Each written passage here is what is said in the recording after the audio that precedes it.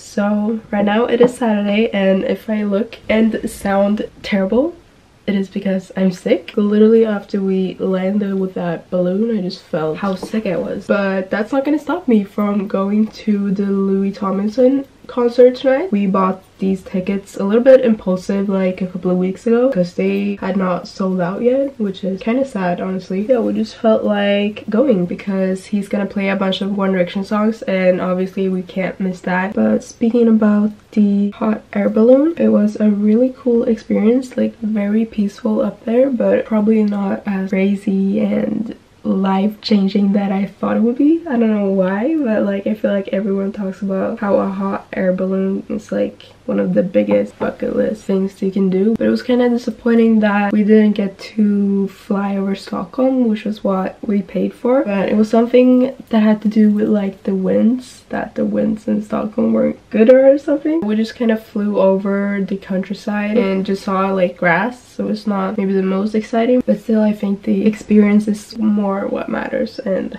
not what you fly over. Also that we had to build the whole balloon ourselves and then pack it all together when we were done. Kind of ruined the experience a little bit because why couldn't they just do that themselves? I understand that you need to be more people to do it but maybe hire more people then that could do it for us because we are not getting paid to do that. In fact we paid you guys a bunch a bunch of money maybe i sound like a spoiled brat right now but that's all i can remember from the experience now since that took longer altogether than the flying experience itself, you know? My whole experience is just having to struggle with packing a giant balloon into a small, small bag and getting absolutely eaten up by mosquitoes. Like, I'm not kidding you, that was the most mosquitoes I've ever seen my entire life. My legs you don't even want to see them right now. The landing was also so much fun. I feel like that's the thing people talk about a lot as well and people are afraid of, but I just thought it was kind of like funny because firstly like the landing went fine and everyone almost started clapping, but then we went up to the air again and had to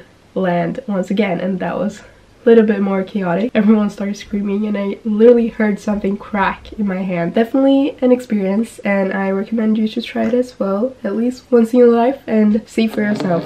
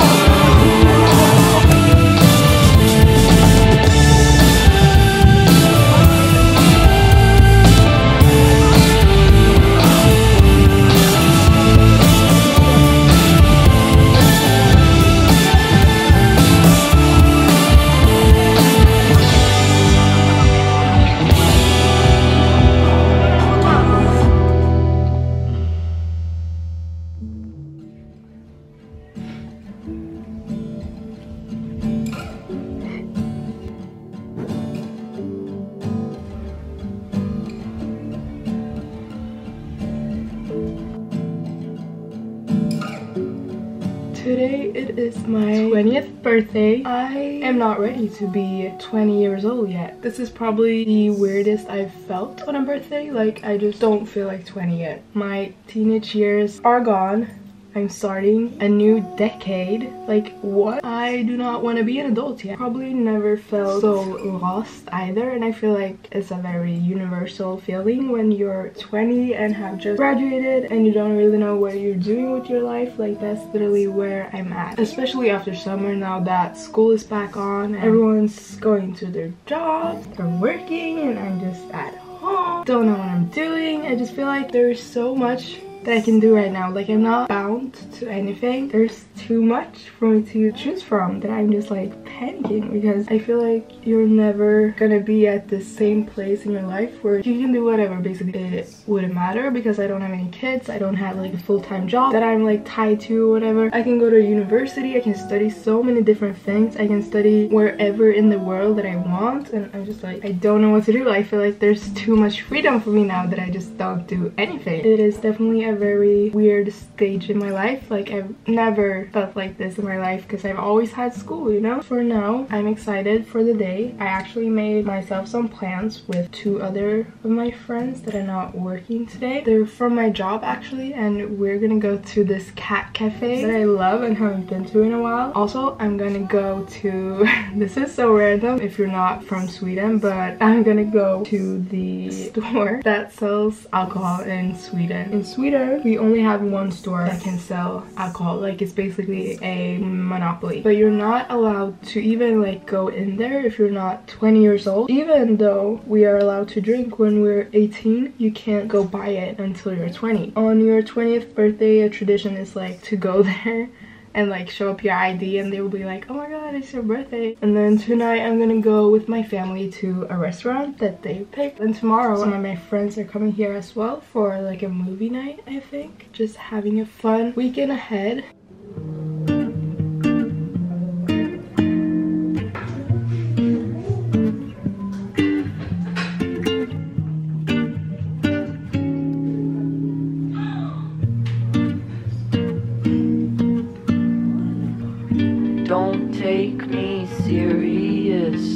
Falling down the rabbit hole to nowhere. I still have faith in love, but my selfish heart makes it hard for me to share that love with somebody new. I don't want anyone to ice cream.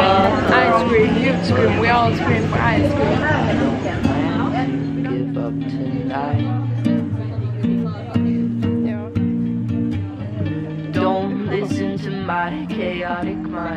Mind. I don't know where I'm going. Now we're eating our ice cream, and I just got Olivia Rodrigo tickets to Norway. We were just in the liquor store, but they didn't have their ID, so they weren't allowed to come in.